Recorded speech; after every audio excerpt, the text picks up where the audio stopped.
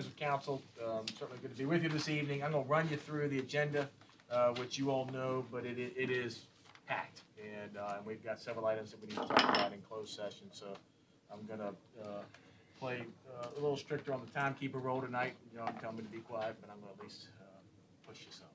So, um, we're going to talk, as you all know, you've got on your agenda tonight the uh, franchise agreement with, Cox Cable and uh, Martha McGann from Bernard's office and Brian Grogan with uh, Esquire, mean, with uh, Moss and Barnett. I'm going to give you a fifteen-minute presentation on that, that most of you have uh, seen these in the past, so you got a pretty good sense of what's coming there. Uh, Mike Goldsmith, Deputy City Manager for Public Safety, is going to give you a a really thought-provoking presentation in the beginning of some conversations that we're having around regional public safety and particularly as it- as it applies to um, both natural and man-made crises that, that don't tend to stop at the, at the political borders. I think that'll be a fun conversation for you. Uh, Greg Patrick, uh, Budget Director, will step up and um, really start the, the, the public process of the 2020 uh, budget development, and uh, we'll talk about that some, tell you how, how 18 is, is closing out, uh, but tell you what uh, the process we're going to carry through for 20.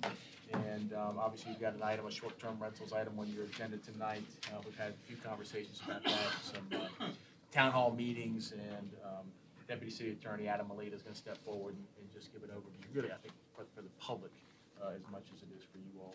And then, um, obviously, the mayor, uh, along with Mayor Alexander, along with Mayor Jones, announced uh, the presentation to the two city councils for Norfolk and Virginia Beach of a water deal, uh, which we think is obviously really exciting and historic, and uh, you all will uh, vote on that tonight, and uh, City, uh, Virginia Beach will vote on that in a few weeks, and just wanted Kristen Lentz to have a chance to come up and explain that one more, even though it's been written about in the paper, I think it's good for her to tell the public what we're doing, and then we'll jump into closed session with, with several items.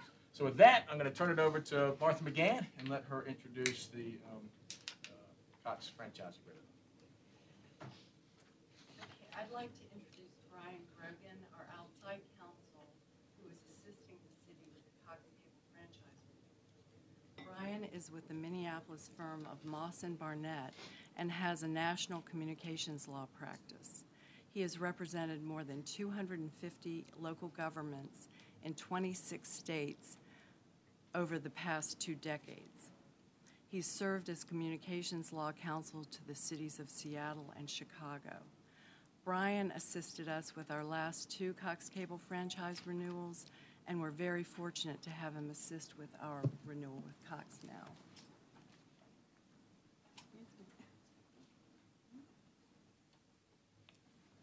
Well, thank you for this wonderful fall day, 50 degrees. From Minneapolis, we call this summer here. This is the third time I've been in front of this council um, to introduce a franchise for Cox Communications. I've actually worked with this city way back in the 1990s, so it's been some time. Um, You'll have to pardon me today, I have a little bit of a throat issue, so um, we'll see how that goes. First slide, oh, I'm sorry, I'm going to use my clicker today. First slide. The existing franchise was adopted back in 2005. It was for 12 years. It's expired in 2017. We extended it to 2018, so we are actually in a carryover mode right now, but that franchise is up for renewal. It had a franchise fee in it. Franchise fee is based on gross revenues of cable services, not broadband services. So when I say broadband, I'm thinking internet, high-speed internet action for your um, citizens. This has nothing to do with broadband, this has nothing to do with telecommunications. This is just cable TV for this franchise today. The fr- um, 5% franchise fee, however, was overturned by a state telecommunications, communications sales tax. So right now, it's an important point that I'm going to bring up at the end of this presentation. This city does not impose a franchise fee on Cox Communications. The state imposes that fee. This fee, um, so is no longer relevant in your existing franchise. And again, there's an issue I'm going to talk to you about at the end of this presentation from the FCC that's important on that topic. Another element, key element of that 2005 franchise was educational and governmental channels. Um, We had three channels in that original deal, three channels that are still there today. It was financed by a $1.5 million capital grant that was paid up front to the city. So Cox made two payments, one of a million dollars, one of 500,000. They did recover that from subscribers through line item pass-through on the subscriber bill. So if you're all familiar with your typical bill, cable, telephone, telecommunications, sales tax, you might have your communications tax, FCC fee, you would have a uh, EG fee on there as well. That's no longer on the bill today because they have recouped that 1.5 million. Turning to the, um, what this, yes, The the for the, uh, the last slide, for those channels, are you suggesting that that, the one point five million capital grant was used to create the channels? I don't understand the, the relationship, or that was just used for our general, our general budget? Sure. So the, the, at the time we negotiated that, and actually uh, Martha McGann and I were on the city team at the time, what we wanted is funding to be able to support the educational governmental channel. So what we did at that time is assess what kind of cameras, uh, equipment for this chamber, equipment to handle the government and education programming would we need and would we require. It was determined at that time by the council at that time that that level of funding would meet the needs of the city for the next 12 years. So they paid it in one lump sum, and then it was used over the balance of those 12 years to fund whatever capital expenditures the city chose. Exactly how that was expended, couldn't tell you. That's obviously tied into the city budgets from years past, um, but that was what the funding was earmarked for in the franchise. Is- Certainly. Moving forward, um, what we can't regulate, it's important to understand our limitations as a local franchising authority. We can't regulate telecommunications. That's regulated at the state level. Public Utilities Commission deals with that, and largely that is frankly deregulated at the state level now with the competition that's in the marketplace. We cannot regulate broadband services as part of this cable franchise. That's regulated at the federal level, and really a very light touch in regulation on broadband. Right now, for the past 15 years, the feds have decided to let broadband blossom and have a very light touch on the regulation. We cannot regulate cable rates. So if we have constituents that believe that rates are too high, um, or if we desire to have rates lower for a certain uh, segment of their, our constituents, unfortunately, the feds have overruled that authority. In 2005, we did have the ability to regulate basic cable rates. That's now been overturned. So there is no longer rate regulation. That's not unique to Norfolk. That is nationwide. All cities are no longer permitted to regulate rates. Um, Programming content. There's a First Amendment issue, obviously, when we have a government or a state actor involved in these decisions. So the city is prohibited from mandating programming decisions. Whether the company carries VH1 or MTV, that's up to the company. That's not something the city can influence. We can, however, control our local content for our educational and governmental channels. What can we regulate? We can regulate customer service standards. And this city team that we have put together has been very aggressive in trying to address customer service standards in our local franchise. I won't go through these bullet points because of time today, but each one of these issues has a fairly robust set of requirements in the contract to ensure that Cox will provide um, uh, high-end customer service to all of the city's constituents. Uh, Reporting and enforcement, these are tools that your city staff will be able to use to make sure that Cox complies with this rather lengthy franchise or contract, as you will. Um, And we tried to make sure that those were tools that would be effective and could be utilized efficiently by your staff. Right-of-way use, we've tied the right-of-way to your city code so that if this council next year were to decide to amend the city code to change the way in which your streets are utilized, permitting requirements, restoration requirements, Cox is obligated to meet the city code requirements, same as every other right-of-way user. The reason we did it that way is to retain flexibility for this council to modify those rules going forward instead of being stuck with this for the period of um, the next 10 years. Local EG channels, um, we certainly have the ability to require these channels and to require a number of um, uh, issues related to those, and I'm going to talk about those next. Our negotiation process consisted of the renewal team. Martha McGann really quarterbacked this for the city through the city attorney's office. Um, She played the lead for the city. You see the names of all of the key individuals on the city's team. Um, I participated as well in all of the negotiations and drafting. The Cox team was led by Barrett Stork, who's here today. He is the Cox Director of Government and Regulatory Affairs. and he had a number of other representatives on his team that were also key in this. Um, We also retained an outside consultant, CBG Communications, to do a broadband study. That was to assess some of the broadband needs in the city, and that was related to our attempt to negotiate and amend a communication services agreement that is an exhibit to this Cox contract. You may have seen that at the end of the contract that's um, in the agenda today. The renewal negotiations um, were based on the 2005 franchise. So a key issue here is there's always a battle at the beginning of any renewal. What is the contract that you're going to discuss? The industry generally likes to use their model template. We preferred to use ours because the 2005 franchise has served this city well and has really led to very few problems between Cox and the city over the years. That was the base document we worked from. I think helped to make the negotiations rather smooth and efficient. All right, a couple more slides. The key terms of this franchise, it's a 10-year term, not a 12-year term as uh, the past deal was. The communications industry is changing, obviously. Almost everybody now has over-the-top choices. Cox is um, frankly not gaining customers. They're probably staying flat. That you read stories about them even potentially losing customers. 10 years is as long as the city and Cox were comfortable extending this. Franchise fee. We have the right to impose a franchise fee, but as I described, that's overruled by the state through the communications, sales, and use tax. Um, If that were to be repealed, we have a provision in this franchise that would allow the city to implement the 5% um, franchise fee, frankly unilaterally, if the state were to step aside and no longer impose that fee. We don't expect that to happen, but it's in there as a safety net, so the city is always going to receive fair compensation for the use of the right-of-way. We have a hundred thousand dollar performance bond and a twenty thousand dollar security fund. These are tools that the city can use to enforce compliance with this franchise.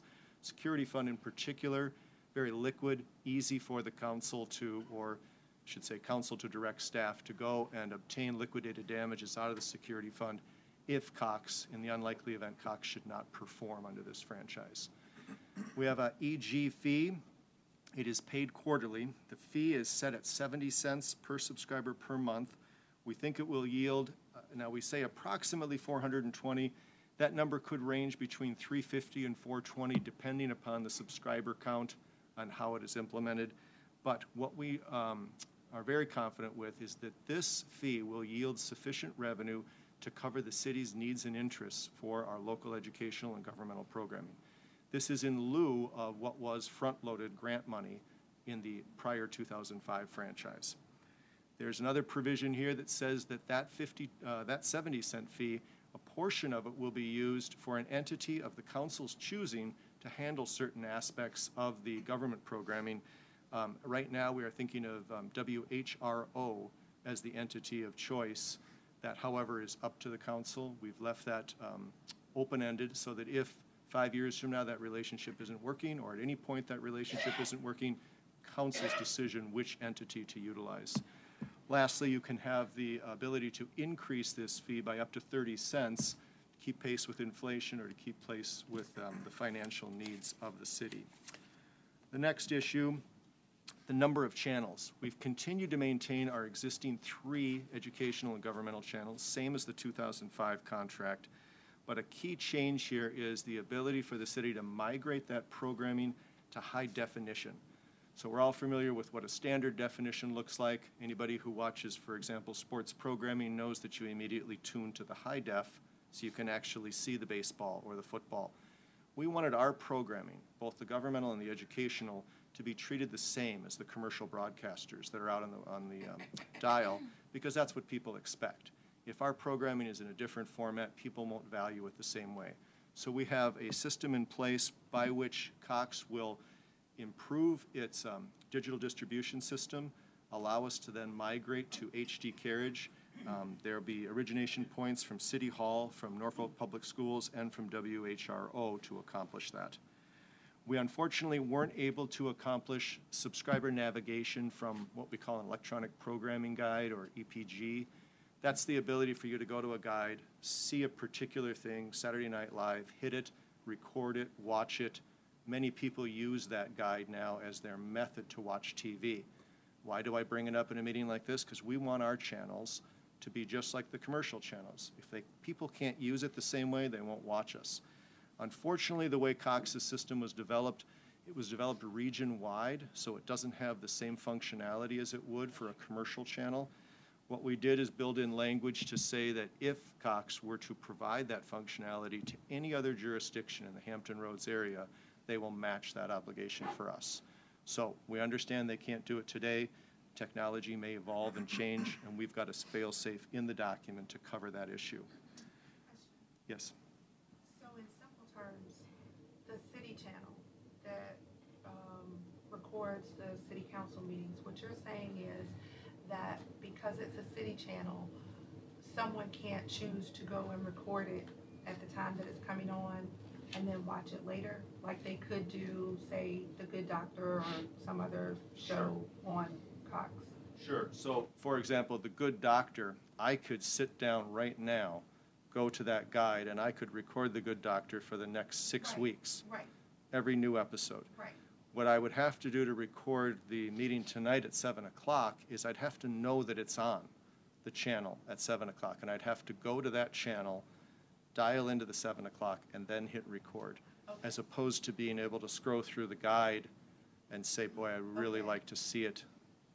So it's, it's a step down, um, and we, we fought as hard as we could, but we can't fight. anywhere. Exactly, it's a technical limitation. So there really wasn't a solution now, but as we know, technology seems to have a way of solving these things over time. Um, Service to schools and public buildings, the um, contract really mirrors a lot of what we had in the prior contract. What we did is we included an exhibit. Cox has agreed to pr- continue providing all of those same services, including all of the equipment that's in the field, which is a big issue because there is a substantial amount of converter boxes and other equipment in the field. They'll continue to provide that complimentary to the city, no charge. And we have a, a system set up which new locations would also be able to be added into that list. I mentioned earlier, we have a communication services agreement. I won't go into detail on that. Again, Martha and the city attorney's office led the charge on that. It's an amended agreement that helps address some of the city's broadband needs for its own fiber network. That was actually adopted by this council, I believe, back in July, June.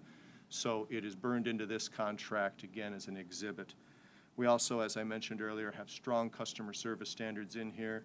There's probably five pages worth of language to address all manner of issues, calling the operator, visiting the operator, installations, um, you name it, it is covered in here. Um, And we're very proud of the fact that if there are issues, the city will be able to help residents and um, constituents that have concerns about how their cable service is being delivered.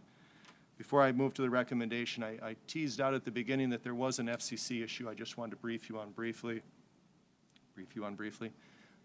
The, uh, the FCC about two weeks ago, unknown to us, adopted uh, a second notice um, of rulemaking, which is a complicated way of saying they are now thinking of creating an order, perhaps in the next couple of months, that would allow cable operators around the country to offset from the franchise fee that's paid to a city the costs of most franchise obligations. Everything from free service to schools and public buildings, uh, EG channels, EG connectivity, almost anything in the contract to be able to offset it. Very significant issue, and many, many cities around the country are writing in comments to the FCC to say, think about this, because this could adversely affect a 2019 budget, for example, if it was a unilateral change. There's a number of concerns about that. City staff has uh, analyzed this as carefully as we can. Our view is that there is no reason to not move forward with this franchise tonight, particularly in the state of Virginia, where you have a state-imposed communication sales tax as opposed to a city-imposed franchise fee. The separation of the contract from that fee probably puts you in a unique position around the country in this state. Moreover, once that order is adopted, we do anticipate appeals will occur nationally. That will probably last for a year and a half or two years before any actual implementation. Simply would be too much uncertainty to crack this back open and renegotiate with the unknowns that that order puts out there. But staff was very concerned that we make the elected officials aware of this issue, just in matter of full disclosure. we're confident that this, this is a good deal, and this is um, one that we recommend adoption by the city council, um, and I'll certainly stand for any questions. Uh, Two questions uh, with the schools. Did anybody go around and make sure that every school currently is connected to Cox and receiving television and services? Is- Was that done as part of this? So we, yes, sir, we, we coordinated with the IT staff, CIO, the schools, and all our hundred and fifty facilities. He's making some hardware adjustments that will improve the situation concerned. Okay. And then the second one is, it it goes back with Verizon and Fios and the franchise thing. So when a customer wants to switch from Cox to Verizon, they um, call Verizon. Verizon says the city of Norfolk um, will not allow us to come into the city um, because uh, um, they have this agreement with Cox. And I know that's not related to this, this is more CISR, but it was interesting about the franchise fee because um, we were told that Verizon uh, wants Norfolk to eliminate the franchise fee um, for them, and then they would come into the city. But what you're telling me tonight is that there is no franchise fee, that this is a state mandated thing, and that's not something that the city of Norfolk could tell Verizon, we don't want you to pay. This is that every uh, telecommunications company is charging this. So I'm, I- are being charged this by the state. So, It is a, it is a statewide communication sales and use tax. It applies across the board. Um, Payment doesn't come from Cox to the city. Payment goes from Cox to the state. State then issues a payment back. And in fact, the um, city attorney's office has pursued an issue questioning some past payments on that, and the state was rather crystal clear about the disconnection between the cable franchise and the imposition of that state tax. So I, um, I stand by the comments I made earlier. Uh, I, I understand you're getting mixed messages here, but I, I believe what I've represented tonight is the accurate picture. and I just, I think it's important because all of us get at least twice, three times a month, an email from a constituent uh, with that accusation. And this is just going to make it even more confusing for people who watch this because if they go back to the other slide, we do not regulate Cox in their rates, rate increases. But um, we hear the frustration um, o- of that and the demand for competition uh, when that, but they, I thi- think it's important for people to understand there's a separation of that. Um, and I don't know, we'll still get it regardless of that, but I think that was just important to mention. I'm sure everybody else has probably heard that. Um, same argument, and Verizon continues to tell customers that it's our fault um, because of this contract. And quite honestly, I think the issue that we all faced with more often than not is, is internet and not cable TV, which is really the only thing that this is Right. addressing. That's So if you said clearly, it doesn't, it doesn't address phone, it doesn't address broadband internet, it only addresses cable TV. Um, But folks just see it under one company and they have concerns about it, and, you know, people want competition. We're not restricting competition. Uh, with provide the- some- Can you right. just, can you just say that Absolutely. clearly? Can you clearly state that this contract in no way restricts competition in any of the above areas of broadband, internet, phone, or cable TV? One hundred percent, this contract does in no way prevent a competitor from coming in. It's a non-exclusive franchise, and by federal law, it has to be a non-exclusive franchise. We're not permitted to create a, an exclusive relationship. One more point, I mean, I negotiated, for example, the Virginia Beach contract twelve years ago, roughly the same time we did this one. Verizon did go in there, they didn't come in here. The Virginia Beach contract has a five percent franchise fee in it. It too was preempted by the state law. There's very little difference in those contracts, having worked on both of them. Some tweaks here and there for local programming and things that are unique to the cities, but as a fundamental base document, they're very consistent. So I hope that helps ring true that there is nothing that the cities, that I'm aware of in this contract that prevents anyone from coming in. Um, I don't know if I could say it any more clearly, but that is, that is the truth. Now, let me finally say as to council member's question about broadband. um, This contract does say, however, that it's for the provision of cable television service. We expressly say they're not prohibited from doing anything else in the city, they being Cox. Cox can provide broadband, Cox can provide telephone. We hope they provide a myriad of communication services. And this doesn't regulate them. But what we did say is we reserve the right as a city to regulate those services to the extent the law allows us to. It just doesn't occur in this contract. Courtney? So three questions that may not apply to you per se. But what, where has the city decided to put the EG fee? It says will be paid directly to entity of city's choice. It looks like it's four hundred and twenty thousand annually. So Michael, that, that, that's it. What- I Martha, you want- I think that was based on a previous number, and I think the updated number that we have, more current information, it's expected to yield three sixty-five. Yeah, when I, when I made the comment, it- it, our, our range is between three fifty and four twenty, and, and as, um, Ms. McGann mentioned, the most recent estimate is around three sixty-five.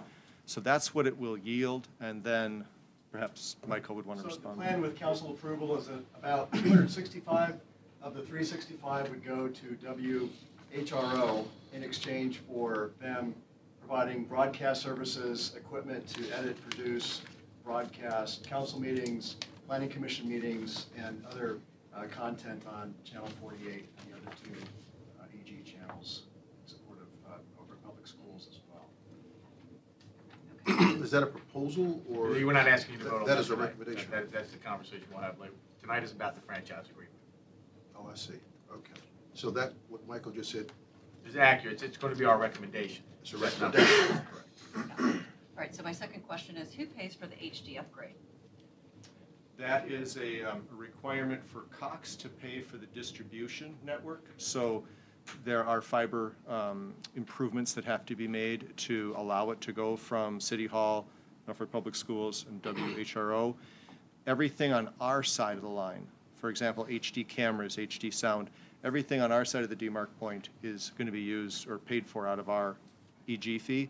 They pay for everything on the distribution side going back to their head end. So when will that be upgraded then on their side to HD, or is it already?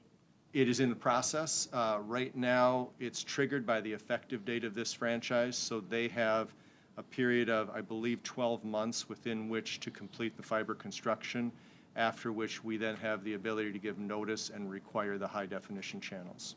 So they're committed to, within this contract, to deliver that in 12 months? Correct. Or we hold them liable, or we hold them accountable? That's correct. Yep, that is a, that's a contractual Okay, 'cause obligation. We definitely need to move to HD. And that was a point that we debated among the engineers on both sides at length, and um, both sides are comfortable that that's the time necessary to complete the undertaking.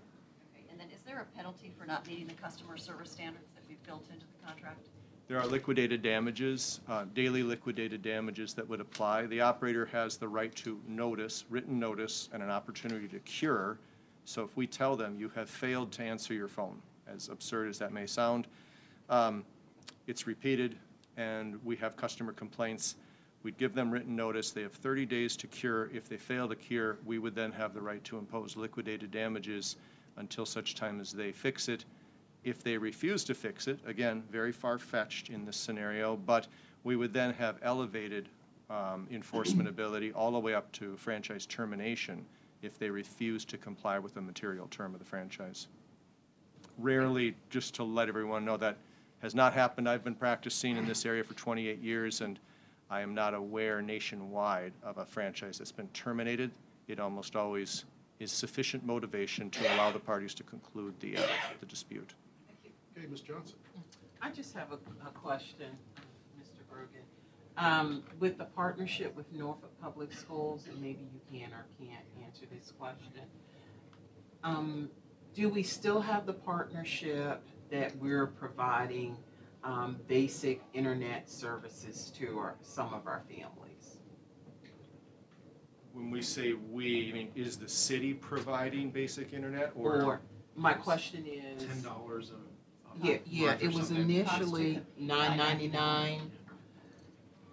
It's. It's to our Norfolk Public Schools students. Barrett can probably. Barrett. Barry Stark, uh, Director of Government Affairs for Cox Communications. Yes- Yes, ma'am, that, that's not tied to the franchise agreement. Okay. That's a program that we instituted about uh, four or five years ago. Yes. Um, and uh, it's just something we continue to, to elevate and push forward. There's no tie to the to the franchise agreement at all. We would love for anybody else who's interested in that program. Please let us know because we were trying to get the word out. We've helped a lot of families get connected to the internet through that program. And, and also, Barrett, um, since we're providing that service to our Norfolk Public Schools scholars and their families, um, who keeps track of the data? Sure. Is it on your side or Norfolk Public Schools? I believe it would be anything on our side because it's based on the customer relationship that we have. Okay. But a lot of that data is proprietary because of restrictions on the ability to provide any data out to the public. Okay. Yeah, hopefully that answers But, the but you do um, track or keep data on um, how many families enroll in the program, how many have been consistently um, a part of what you're providing for, Yes, for them? Okay, Yes. thank you. Okay, Uh, Brian, Barrett, uh, Martha, Stephen, Michael, uh, Bernard, uh, thank you all very much. Uh, I appreciate the presentation, but also appreciate a lot of hard work that's gone into bringing that to your agenda this evening. I'll ask uh, Deputy City Manager uh, Mike Goldsmith to jump up, and he's going to talk to you. You know, we, we talk a lot about regional cooperation, and I think you, uh, obviously a big night tonight with the, the, the relationship with Virginia Beach over water.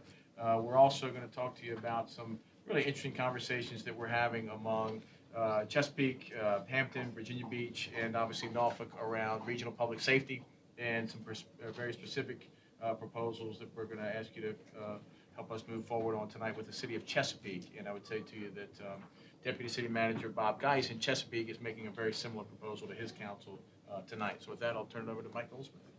Good evening, Mayor, members of council, Mr. Smith. I appreciate being given the time to talk about this topic.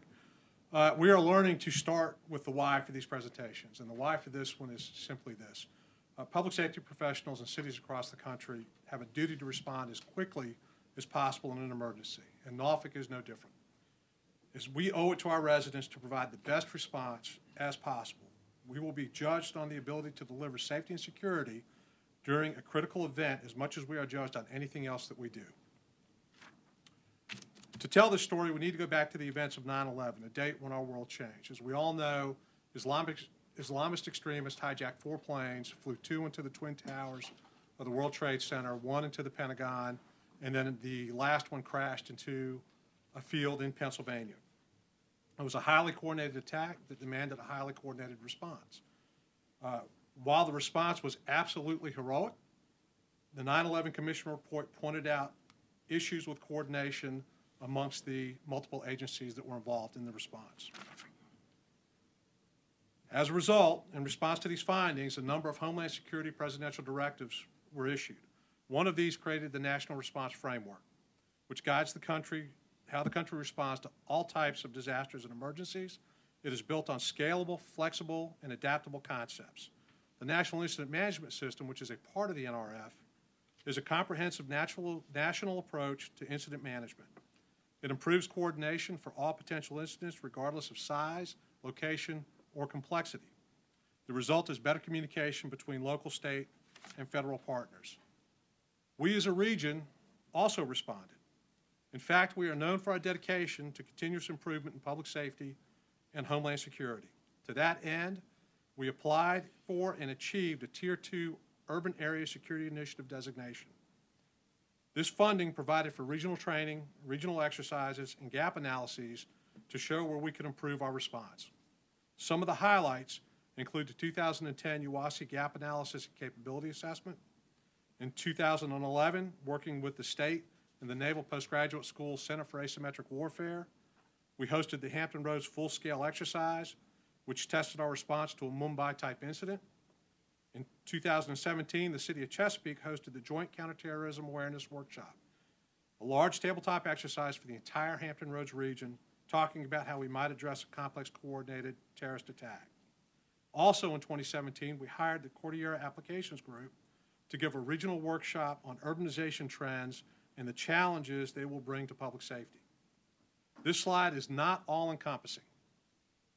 People like Jim Redick, Chief Wise, Chief Boone have spent lots of effort working with their colleagues in other cities, making sure we can respond to any number of threats, natural and man-made.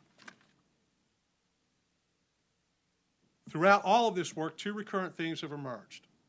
While we have continued to improve our response to these large incidents, we still have gaps in unified command and operational coordination, as well as regional coordination. We have gotten better since 9/11, but we still lag in these two areas. And while this history is rooted in a terrorist attack, we cannot ignore the weather threat in this area. We will continue to face larger and stronger storms, as evidenced by Florence and Michael. We have seen with these incidents the vital need for a coordinated regional response. Recognizing this, Norfolk, Chesapeake, Virginia Beach, and Hampton have been accelerating coordination for the last two years. As stated before, we hired the Cordillera Applications Group, a company made up of former NATO military officers, urban planners, retired police and governance experts with close links to the Defense Advanced Research Projects Agency, DARPA, to assist our cities to explore three major lines of effort. The first being to define what an emergency operations center common operating picture looks like. Second, coordinate better communications between our EOCs, implementing a full spectrum communications check on a set schedule. Third, looking at standardized unmanned aerial vehicle, unmanned aerial system capability to allow for better local support by leveraging these systems as regional assets. They have also facilitated a large event tabletop exercise that all four cities attended, as well as the urbanization seminar mentioned earlier. So the title of this slide is the fundament, fundamental reason we are here tonight. What public the question we are asking is what public safety services might be linked or enhanced across multiple jurisdictions to deliver services to our communities more effectively and efficiently, and where possible, achieve economies of scale for better outcomes.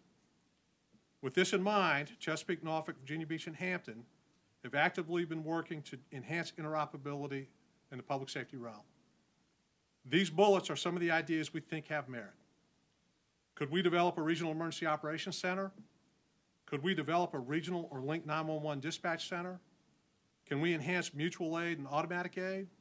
What are the things we haven't even thought of yet as we continue to work together as a region?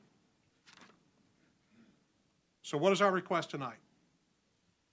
We are here tonight to ask council to support a resolution that will allow the city of Chesapeake and the city of Norfolk to explore the next steps of potentially linking emergency operations center functions and functionality and potentially linking 911 dispatch, as well as other public safety ventures that make sense. The goal of this effort is to see where we can provide more effective and efficient public safety response for all of our cities.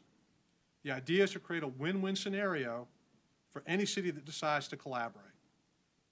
While we don't have any preconceived ideas on what the future may look like, our ask is to allow us to fully explore our options. This is a story of continuous improvement that started on 9 11 2001. While our public safety agencies have worked hard and successfully to improve response, it is time for us to take the next logical step in our development. If we are to deliver safety and security to our residents, increase our ability to respond to major events, natural or man made, we must be able to work as a region. These threats care little about lines on a map. If we are to accomplish the goal of a safe and secure Norfolk, we must look at regional solutions. Mayor Alexander, the vision you set was to seek regional solutions in public safety. We have worked with that in mind. This is our chance to move further down the road. I want to thank the city attorney and Martha McGann in particular. They are helping us work through the resolution that will be presented on your docket for November 20th. Questions for Mike? Questions? Okay, thanks, sir.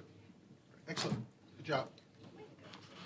Mike, great stuff. Thank you, bud. It- is, um, I think what we're learning are- in terms of these regional activities is um, uh, different cities um, within the 17 really have certain specific interests, and whether it's around broadband or water or, um, or public safety, um, or the uh, revenue sharing, uh, economic development model that some folks on the peninsula are putting together. Smaller groups of cities are starting to break off and, and, and work through those things, and then br- ultimately bring them to, to the region. And you're, you're really seeing Norfolk try to play a leadership role around public safety and um, uh, around stormwater right now. And so I think that's a model that's going to serve the region well, and, and uh, um, but the text we got earlier is the conversation in, in Chesapeake went well as well, and uh, so we'll bring that resolution back to you on the uh, 20th of November. All right, so with that said, I'm going to ask Greg Patrick to step forward and um, give you a uh, look at um, uh, sort of how 18 is, is winding up,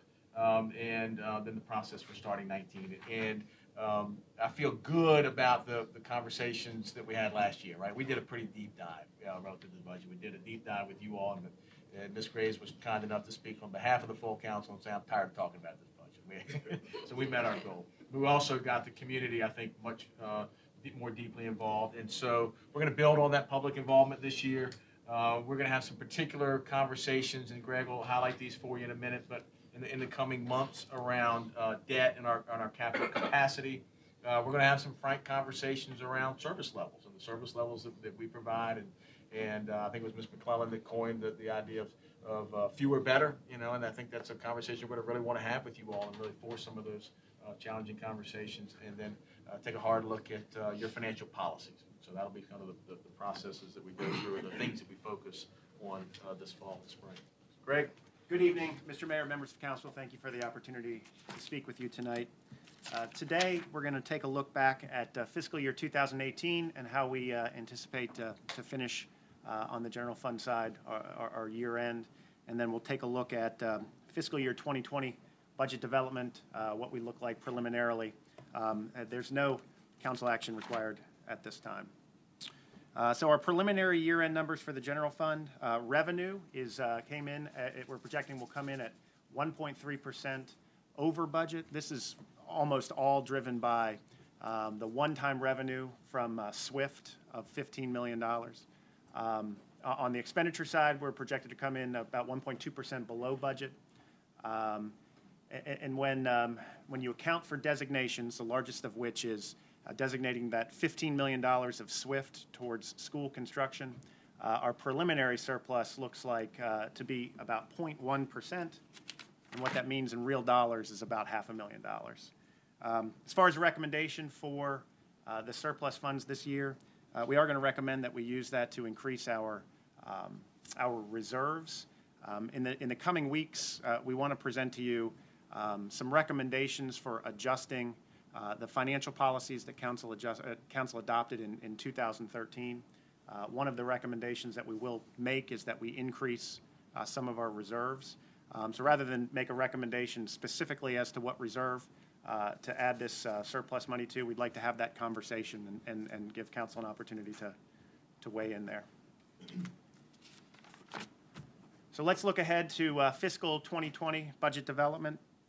Uh, This is a familiar slide. This is how we put the budget together each year. First, we start with last year's adopted budget, then we'll remove any one-time expenditures that we, that we made in fiscal year 2019. We'll annualize any prior year costs. So for instance, we're, we're uh, providing a salary increase beginning in January of 2019. That's only half a year. We've got to annualize the full year cost in fiscal year 2020.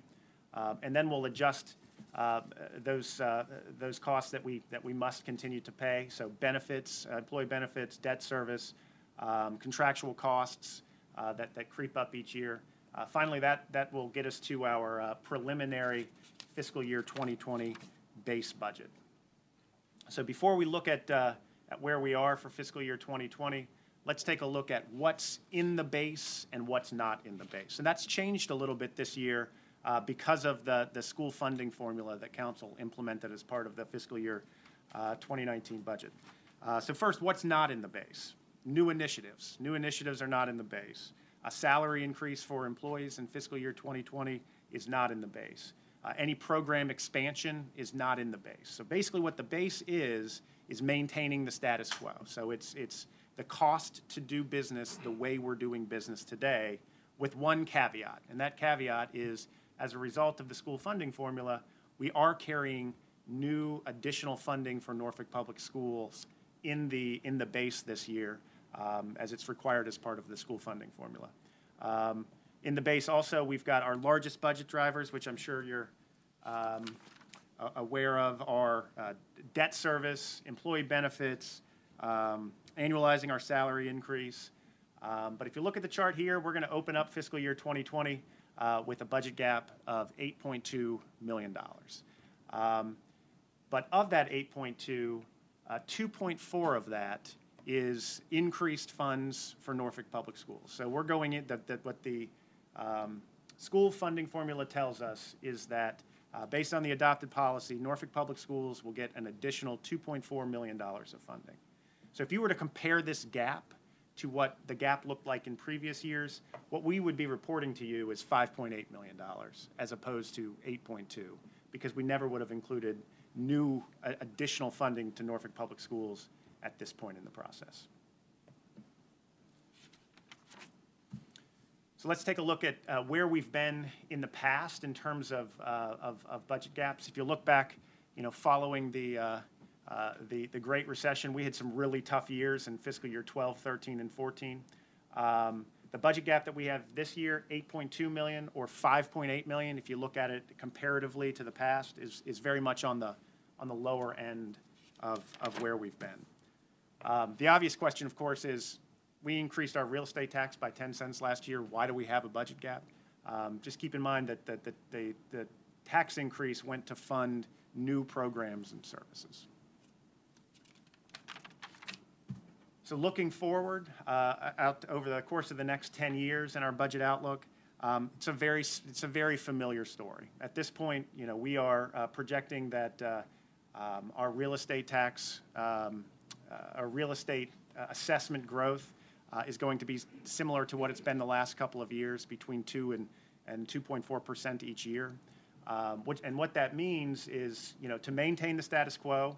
Um, right now, our expenditure base is, is, is outpacing our revenue growth. Um, and this is the same story as it, as it was last year and the, and, and the year before. Uh, what we need at this point is, is either um, uh, is for our assessment growth to return to what it had been historically, uh, between four and five percent.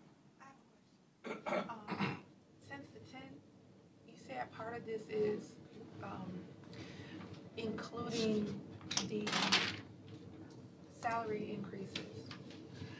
Since the ten cents tax increase, why, and that's an ongoing ten cents, it's not going away July first of next year. Why, is that the reason why you're including the salary increase in the base budget?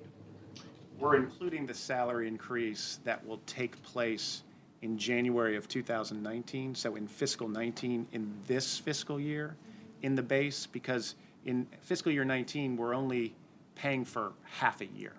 So in fiscal year 2020, we have to pay for the other half. So it's that annualization that's in the base, rather than a new salary increase in fiscal year 2020.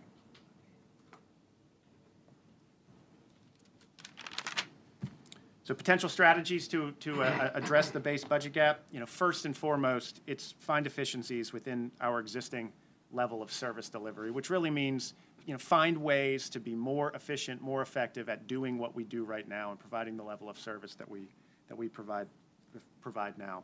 Uh, from there, it's conversations around aligning our spending with our, our, our current revenue reality. Uh, we are, gen- uh, we are uh, building a, a citywide program catalog that, that gives us a, a, really good sense of, of um, what we actually spend our money on. Um, and we, we're going to use that program catalog to help us consider um, service levels around the city. Um, and then there are items at the state level that we'll advocate for. Um, you know, first, it's the, it's the restoration of state aid reductions, especially in our priority areas of education and public safety. You know, it's important to, to note that in the course of the last 10 or 11 years, in terms of buying power, we've lost $74 million um, in, in state aid. Um, and then we'll work with a coalition of, of jurisdictions um, uh, to, to, uh, to, to help us work on items such as uh, modernizing the uh, communication sales and use tax and, and funding for, for transit. So the takeaways, uh, it's really important, and, and council's done a great job of maintaining our fiscal dis- discipline and, and financial stability. Um, it's important that we have, you know, what might be you know, some difficult conversations around what are sustainable service levels, um, and then to take a long-term view. For as long as we can continue a maintenance CIP that helps us um, maintain our fiscal stability and our and our um, fiscal discipline, and, and then really continue to focus on inclusive economic growth and strategic economic development. And then finally, a, a, um, a, look at the overview of our uh, fiscal year 2020 budget development calendar. Um, Very generally speaking, we'll present council with a more formal calendar in January. Uh, The one thing that we have um, uh, adjusted here um, is, is we've moved our proposed budget presentation date into March from April. This is a real benefit to Norfolk Public Schools. Um, So it's a little bit more uh, a time crunch on us, but, but it, it really helps um, Norfolk Public Schools uh, with the presentation of their budget, as I believe they're legally required to uh, adopt a budget by April 1st. Um, So that's a benefit to them. Um, And, and like I said, we'll get you a, a formalized version of this in, uh, in, in January. Just re- remember in May that we voted on the budget way too late too for Norfolk Public Schools. So they, I mean, because of their meeting schedule, I guess too, we were just so late and they're holding up contracts for teachers who are looking at jumping to other districts while they're holding up possible raises and things that could be going through. So, I mean, every year the school board has requested if we could get our vote in quicker. I think we were voting the last week in May last year. Yeah. I mean, it's way too late for getting contracts out to teachers, and we don't, we can't afford to lose um, any teachers in Norfolk, but um, something to consider with that um, as we, you know, move forward and getting it maybe the second week in May at that meeting, if possible. Yeah, yeah, we'll certainly look at that. And the, the good news here is with the, with the uh, funding formula, I mean, they've got a pretty good sense of where we're heading, right? So that, that is. so I understand that, but they still need us to vote on the Yes, I know, budget I hear in order for them to vote on theirs, so they've got to receive that, you know, that funding, so. All right, so we'll think through those dates with y'all. Is it possible to vote solely on the funding formula outside the budget? So that they know what they're getting? I mean, I don't, is it, is it po- like we ta- have the consent agenda? And we I'd take have to pieces ask out? Bernie. We'll- Is I it don't know the possible answer to to do that. that? It, uh, And that would give them what they need, and they don't have to be held up by us, and we can just work out the rest, because if that's the money they're going to get, that's the money they're going to get. So, a really interesting question. And so the open, Yes, if um, we wanted to bifurcate and just approve that portion, it's something you could do. Whether you wanted to, you could decide. because you the think through that. open, um, I guess, um, not enrollment for teachers, but the decision whether they're gonna stay with Norfolk or not is what, March and April? Where they go on interviews, um, the possibility of staying with Norfolk or not, um, Councilwoman? Or when other Dor- divisions come after our teachers. A- absolutely. Yes. Um, when does that start? March, All the time. April, uh, well, it's ongoing, but there is that window of time between March and April because when May hits, they want to be finished with budget items, and I think we, we have to. We've tried to be really s- much more sensitive to that.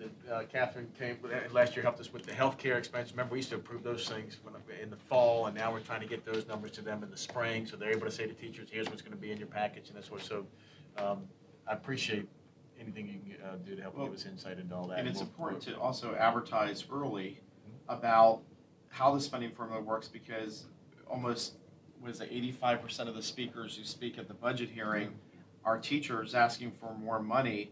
But this, with the new formula, this should be, They're getting more money. they're getting more money. They um, get to decide how to use it. Yeah, Norfolk Right. Public Schools has to decide how to use it, yeah. Correct.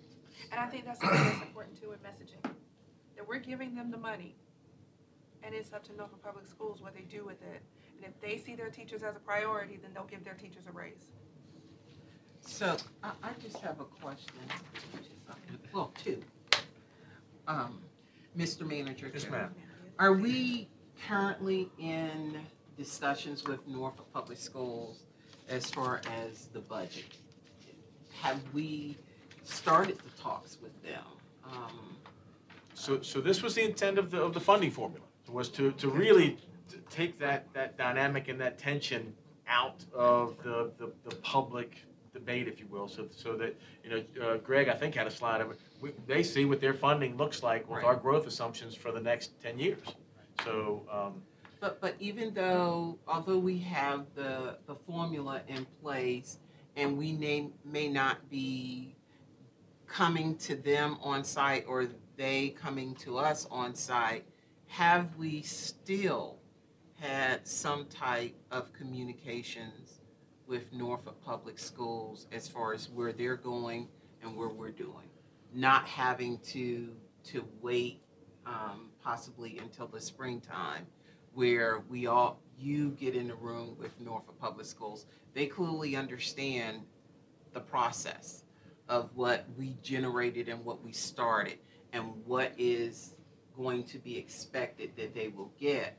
But I think even with that, communication is very important and we need to see where they are right now because we're going into the end of October and going through the process leading up to the budget for Norfolk Public Schools and the, the city of Norfolk. So let me answer it this way, and it may, it may or may not get to you. So- So I think we're having very specific conversations. I spent fifty minutes with the school board last week, making a presentation on St. Paul's and taking their questions and telling them what was going on. So we had that.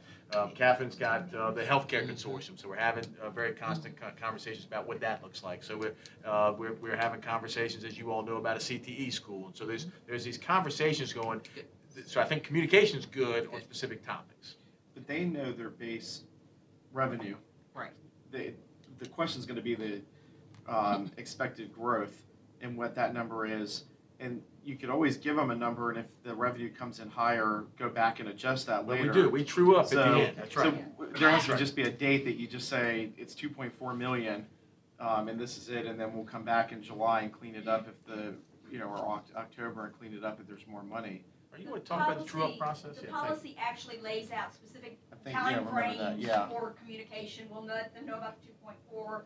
Sometime about February, we'll let them know if we've made any adjustments based on revenue, um, in better improved revenue numbers. And then there's a true up process at the end of the fiscal year to make sure if we missed it, they would get part of that. that overage. And it's important to remember that, that two point four is made up of a lot of assumptions around a lot of different revenues. So those, those are, those, those can adjust throughout the year. Um, and, and, and, and Norfolk Public Schools is, is familiar with, I mean, it's the bu, it's the bucket of revenues that they kind of picked last year as we were going through this. So they're very familiar with, with how that process works. We send them to the state legislators, Kenny, um, for the other funding. So That's correct.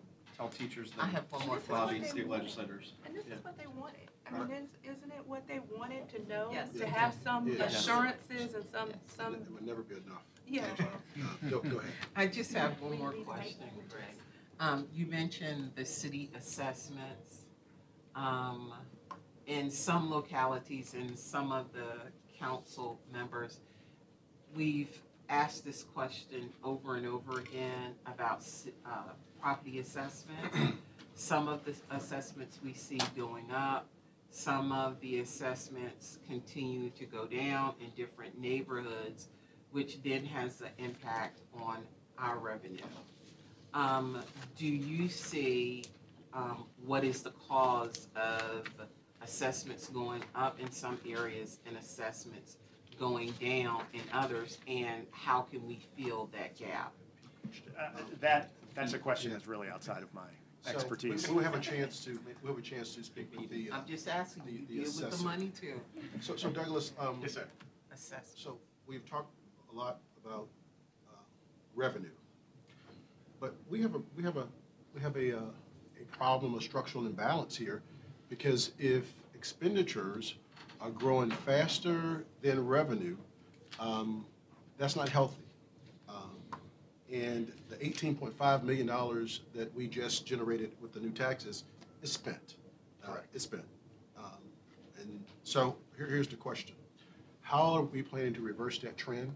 uh, That, you know, our revenue is robust, is rigorous, uh, and we can continue to make the investments that, that we need in infrastructure and stormwater, um, flood mitigation. I mean, we have a slew of, uh, of issues that we, we need to discuss. And so what is the economic development plan? And you don't have to tell me now, but certainly, uh, we have to have an economic development plan to generate the revenue uh, that we need. We cannot continue to tax our residents uh, real estate taxes. We have to figure out how to grow the economy through other means besides uh, the real estate taxes. So hopefully, there will be a presentation that you can tell us, maybe economic development or some other means, how do we grow and diversify this economy? Greg, thank you. Appreciate it very much. I'm going to ask uh, uh, Deputy City Attorney Adam Melita to step forward. Y'all uh, been involved in a lot of conversations about short-term rentals, and um, uh, Adam is going to tell you where we've landed, and what's on your agenda this evening. Thank you, Mr. Manager and members of council. Um, it- It's been a while, it's been a lot of work, um, but we do have on your agenda tonight, uh, public hearing item number one, uh, a comprehensive uh, zoning text amendment um, to adopt uh, a program for short-term rentals um, throughout the city. Um, That uh, hard work has included the mayor's town hall meetings. Uh, During this process, we've adopted a new zoning ordinance. The manager set up a special committee, committee to analyze just this issue. Um, We've been watching the Norfolk market in short-term rentals. We've been watching what the General Assembly's been uh, doing or asked to do with regard to a statewide approach. Um, We finally had a proposal ready earlier this year. Um, We presented a a Q and A session to the folks in Ocean View who have been uh, intimately engaged with, um, with this topic for some time. We did that in August, and then the public uh, hearing before the Planning Commission uh, in September, at which they're making a unanimous recommendation to you um, to adopt this proposal. So what I want to do for you, um, kind of quickly here, is to run through um, the guiding principles one more time that informed our plan, and then walk through one or two examples of how the various options or approaches that are laid out in, in this amendment uh, work for folks who want to do a short-term rental, um, and then address any questions you may have. So uh, this slide runs through the principles that we uh, kept in mind as we developed the, the plan. The market is here. Um, It's not a fad, it's not going away. The fact that it's illegal just about everywhere in Norfolk except for the two locations where you approved a conditional use permit um, has not operated to prevent the activity. So um, it's here, uh, they provide, short-term rental operators provide a, a product that certain types of guests uh, want. Um, The latest information we have um, is, uh, and this I think is from August of this year, uh, 309 discrete rental units available on the online platforms. Um, Most of those units are for more than, uh, are rented out for more than 30 nights total per year. Um, All short-term rentals are for a period of time less than 30 days, but when you start adding them together, um, each of these units is, is rented repeatedly throughout the year, um, and they're averaging about $115 uh, per guest per, uh, per night. So um, we, we don't think that keeping it illegal solves the problem, um, and there is some evidence that these um, types of rentals can be operated in a responsible way, and the challenge is to find out um, how that can be done and how can we um, manage any of the negative externalities. Guiding principle number two, identify the locations. Um, the experience in other localities in Virginia, indeed localities throughout the country, um, with this issue um, is to um, try to find out where it's happening by requiring a registry. Um, that is the approach that, that the General Assembly um, enabled localities to, to employ. That is the best way for the city to know who's operating these facilities and where they're going on. Uh, The challenge is how do you entice people to register um, and let the city know that, that they're engaged in this activity?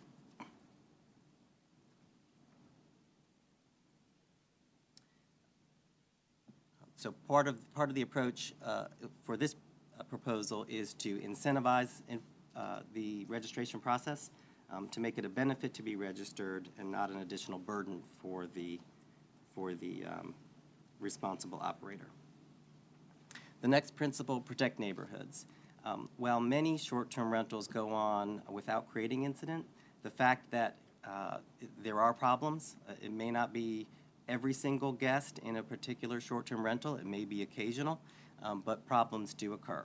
And so um, the challenges we wanted to address with this approach was to come up with a mechanism to minimize the problems at the front end, and then when the problems occur, because they will, um, to have a process that would be simpler and more efficient to uh, identifying a resolution um, and, and fixing the problem uh, so as to minimize problems that neighbors are going to, to run into from time to time.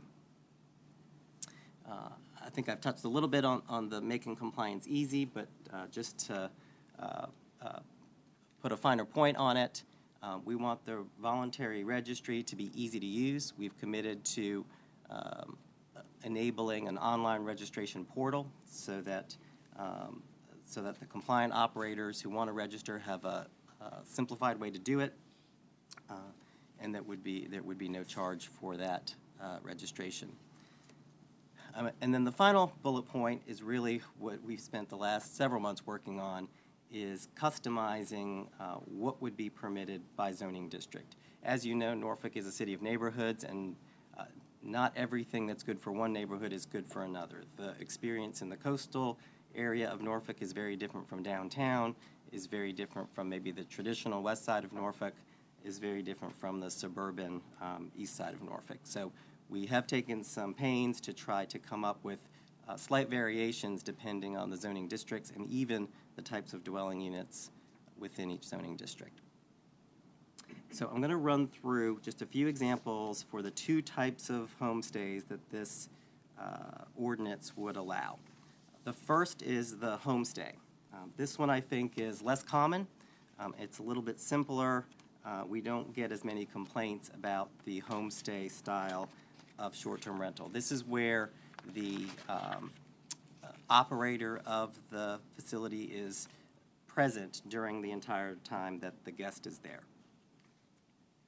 So, uh, under this sort of approach, um, I'll take an example from uh, any of the um, single-family districts, whether it's SF2 or SF4, uh, even the residential coastal district. For a single-family home there, this approach gives you three options. And the way the table works is at the top, you identify what zoning district your property's in. Uh, the next row, um, you identify what type of dwelling you have, whether it's single-family or two-family, multifamily. Um, and then the third row identifies what your options are. And for every one of these uh, categories, there's um, uh, two, and in, in certain cases, three options. So for the single-family home um, in the coastal, uh, residential coastal district or the SF2 district, um, they could get approval for a homestay any one of three ways. Um, they could do it by right, um, just get a zoning certificate and a business license um, and start operating a short-term rental uh, as a homestay. Now, the limitation on that is we would not permit that activity uh, in an accessory dwelling unit. So if you do have an approved accessory dwelling unit, maybe a room over a detached garage, um, that would not be permitted under the by right option.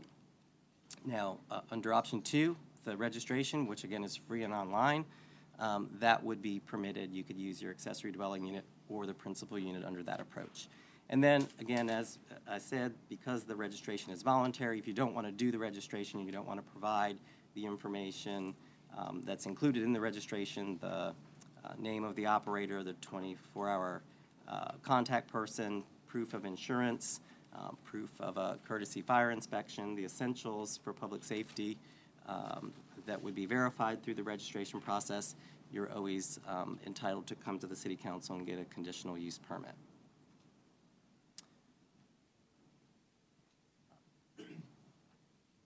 There are opportunities to do homestays in multifamily dwellings.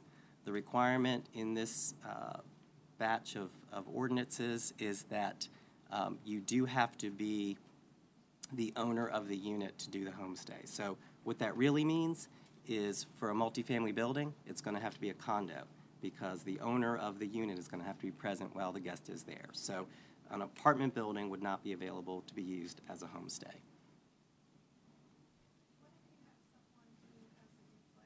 live in one side and they rent out the other side and they want to use the rental, they want to use the other side that they're not living in as the, where, where does that fall? That would be a vacation rental, and the reason is because they'd be living in one dwelling unit, but the guest would be staying in an entirely separate dwelling unit. It's not an accessory dwelling unit, it's its own dwelling unit. And so the guest would have the complete use of that second the unit of the duplex, and so that would be considered a vacation rental. So with that segue into vacation rentals, this is where this is where we've done the most work. This is the type of short-term rental that typically causes an issue um, when we do see, when we do see complaints coming from neighbors. So the table that's laid out in the, uh, in the ordinance works the same way. You identify what zoning district the property is in first, then you identify the type of property, and then you look at what options. Under the vacation rental, there are generally two options, and in some circumstances, uh, only one option, a, a conditional use permit for certain, uh, for certain types of, of dwellings in certain districts. But we'll, we'll do a couple of examples. Um, let's look uh, first at, at downtown. That's an interesting one. We don't have any single-family homes downtown. So for the downtown districts, you're looking exclusively at multifamily uses. So we have two options available. Um, we can either uh, permit a vacation rental if the operator registers that property. Um, There is a limitation that no more than 10 dwelling units on the property would be made available uh, under this format. Um, And then uh, with a business license, that, that use can commence. Alternatively, um, again, if the operator does not want to register or wants to use more than 10 units uh, in their multifamily dwelling, they could get a conditional use permit. Looking at, for example, the RC district, again, this is one of the areas of the city that sees this activity more. Um, We can take an example of a single-family dwelling, um, two options. You can either register or get a conditional use permit. Both of those are paths to, um, uh, that that would be available to use your single-family dwelling as a vacation rental. Um, And then I'll quickly mention, uh, it's essentially the same process for a multifamily, a two-family or a multifamily uh, dwelling in the residential district. Um, There is a a little bit of a wrinkle here. Um, We are aware of complaints um, in localities that have more short-term rentals than Norfolk does, that um, as short-term uh, rental activity increases in volume, especially in areas where there is not a lot of affordable housing, um, there, it may start to distort the market for affordable housing as the owners start to turn units over for rental to, sh- on a short-term basis rather than, than a traditional 30-day or year-long rental. And so what we've done here is to say that by right, for a multifamily dwelling, you could have one of your units available as a short-term rental if you registered, but if you wanted to use more than one, that would require a conditional use permit. Yes. Um, in, in a scenario similar to what you just said, have localities that have more short-term rentals than we do seen, um, any increase in, um, real estate prices or real estate sales because of the popularity of a short-term rental income? Because that would be a consideration for a buyer. So if I'm looking to buy a property, that maybe I'm using as a vacation home, and then I'm thinking about what is, what's the additional income that I can receive from it, I may be willing to pay more because I can rent, you know, I can rent out and make more money, is that? Yes, I understand your thinking. I don't know the numbers, so I can't tell you whether they, whether that's empirically um, provable. I can tell you that we did have comments during our um, public outreach meeting and at our public hearing meeting that there are operators who are right now um, looking at making investments into uh, multifamily properties and doing additional capital improvements if they are able to use them for this use, but they're probably not as interested in making those capital improvements if they can only be used for regular or longer-term rentals. So to the extent there is additional value that can be extracted on the market for those uses, there may be additional investment just from the comments that were received during our outreach process. Well, not, well, not local. Uh, Iceland has, has experienced such a tremendous amount of B and B Mhm. that uh, citizens are having difficulty getting housing at, at all. Oh. So the, Okay. it has resulted in a, a, a very serious escalation in housing, housing shortage, uh, at least in Iceland. Okay. A lot of big cities are having that issue. San Francisco, New York, and, and some of the cities where there's thousands of these are very worried about that issue. Thomas? Adam, I get a lot of concerns from residents in Willoughby who are worried about the 8 to 12 flex multifamily unit buildings uh, and what that may, what may happen to those units if they all turned into uh, Airbnb. Can you walk us through, walk me through what the process would be for someone who has an 8 to 12 unit multifamily building in that zoning district? What, what would be their options? Um, right. So so right now, um, some of that goes on, and it's not legal, so I think that um, there is some interest in doing that. Um, If, with this amendment, what they would be able to, do- what an operator would be able to do is to um, start using one of those, u- could register and start using one of those units just through the administrative process.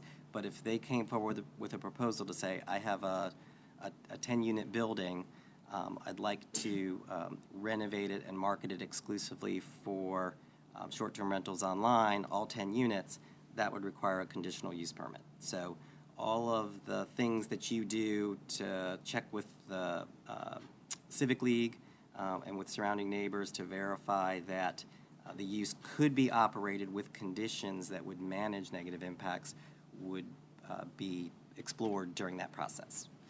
Um, And if you're gonna get to this, you can answer later, but what's the enforcement if someone who owns that ten-unit building doesn't get the COP but starts doing it anyways? What- Where our enforcement? Um, So I- I will use that as an opportunity to segue to the last slide. So Is there a new position being created for this? So I indicated to you one of the um, features that we thought was essential to make this work, to make sure that folks who, a- a- as easy as you made it and as free as you made it, to make the people who, who voluntarily register um, reap the benefits of that process, was to enhance our enforcement. That we'd have to do more than wait for a citizen complaint, because that's only catching the problem locations.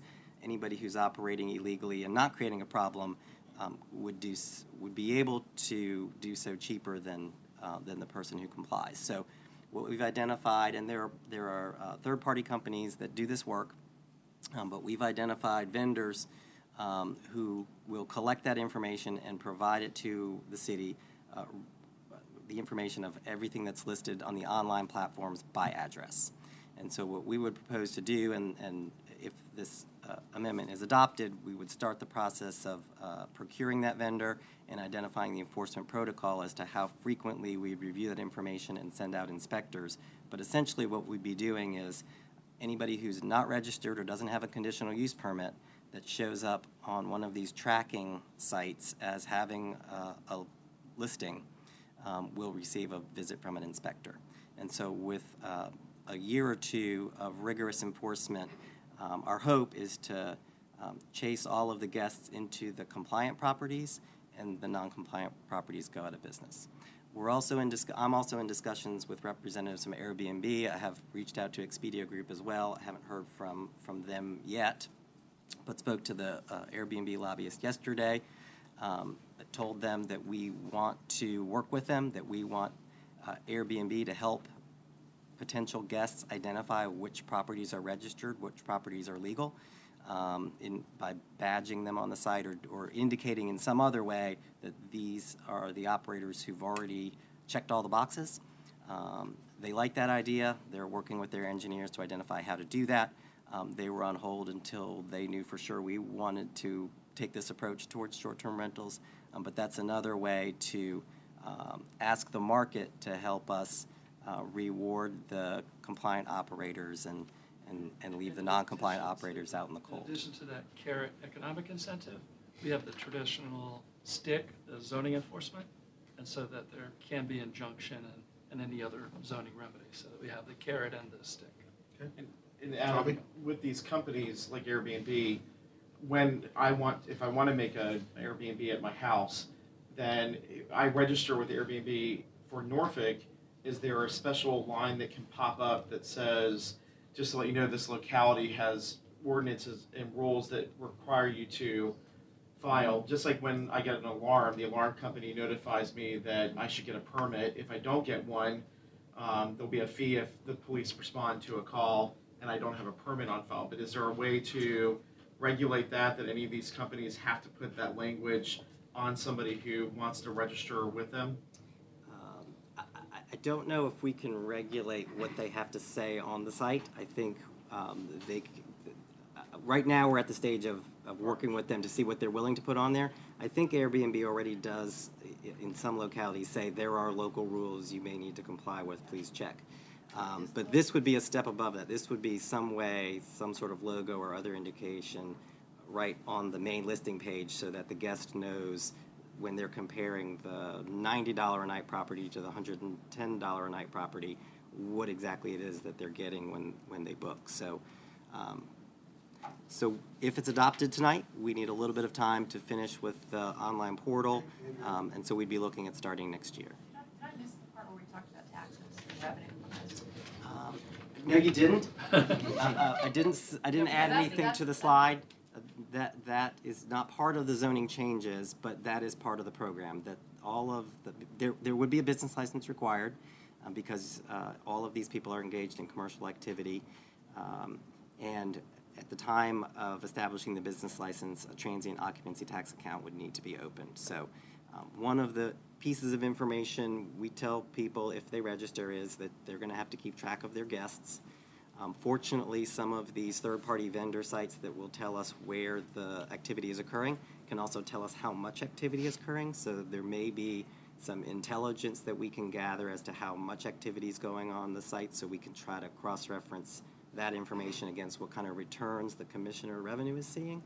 Um, But taxes are going to have to be paid on this revenue. And, and this isn't a legal question, but what are the transit-oriented, what, what is the? Transient occupancy transient tax? occupancy taxes for the city of Norfolk? It's eight percent of gross revenues Okay. plus three dollars per bed night, which is exactly the same as for hotels motels. Okay. Thank you, Adam. Adam, thank you. I'm going to ask uh, Kristen Lentz, uh, our Utilities Director, to step forward. And- And um, as you know, the- the- I said earlier, Mayor Jones, Mayor Alexander made the announcement last week and was covered in the newspaper about the water contract uh, proposal that you all will vote on this evening, but wanted Kristen have a chance to come up and explain it to folks on our government channel. Mr. Mayor, members of council, item R2 on your agenda this evening is an ordinance that would authorize the city manager to enter into two contracts that are water-related simultaneously with the city of Virginia Beach. And this presentation is intended to provide you with the background information and specific contract terms that support staff's recommendation that you approve that ordinance. The impetus for this recommendation is a conversation between uh, Mayor Alexander and Mayor Jones based on their relationship of mutual respect. And as a result of that conversation, they came back and told their staffs to work together to develop a contract that would meet uh, both cities' water-related needs. Um, As background uh, for the whole concept, uh, Norfolk owns and operates uh, the vast majority of the, uh, all the water facilities in Southside Hampton Roads. And Virginia Beach currently doesn't buy any water from us. Uh, Norfolk treats the Virginia Beach's water that they get from Lake Gaston under a water services contract that expires in 2030. And the partnership between Norfolk and Virginia Beach whereby we treat their water has been very successful for both cities um, for more than 20 years. Taking a look at each one of the city's uh, water-related needs, um, it's understandable Virginia Beach wants to secure their water future. And for them, that means they want uh, water treatment facilities for their water on the long term, not that just expire in 2030. They also want to have enough water supply to support all their future growth needs. Uh, Norfolk has the enviable position of having 10 million gallons per day of surplus raw water, raw meaning untreated water, beyond our anticipated needs of our Norfolk residents and businesses or any of the needs of our wholesale customers, um, which include the Navy, Chesapeake, and the Western Tidewater Water Authority, which is made up of Suffolk and Isle of Wight County. And obviously, an additional water sale would help generate uh, revenue that we could use to um, improve and reinforce the resilience of our top-quality water system. Given the water needs of both cities, city staff uh, came up with a recommendation that Norfolk and Virginia Beach simultaneously execute both a water sales agreement and an extension of the water services agreement by which we treat the water with three major uh, terms. The first was that Virginia Beach would pay Norfolk $20 million up front. Uh, Second, they would immediately begin buying 10 million gallons per day of our raw water at the same price that we charge our other raw water customers, which are Chesapeake and the Western Tidewater Water Authority. And at the fiscal year 19 water rate, it's $1.31 per thousand gallons, and that for 10 million gallons per day, that would generate $4.78 million in additional revenue annually. Um, And again, we hope to be able to use that water revenue to improve our water system's strength and resilience.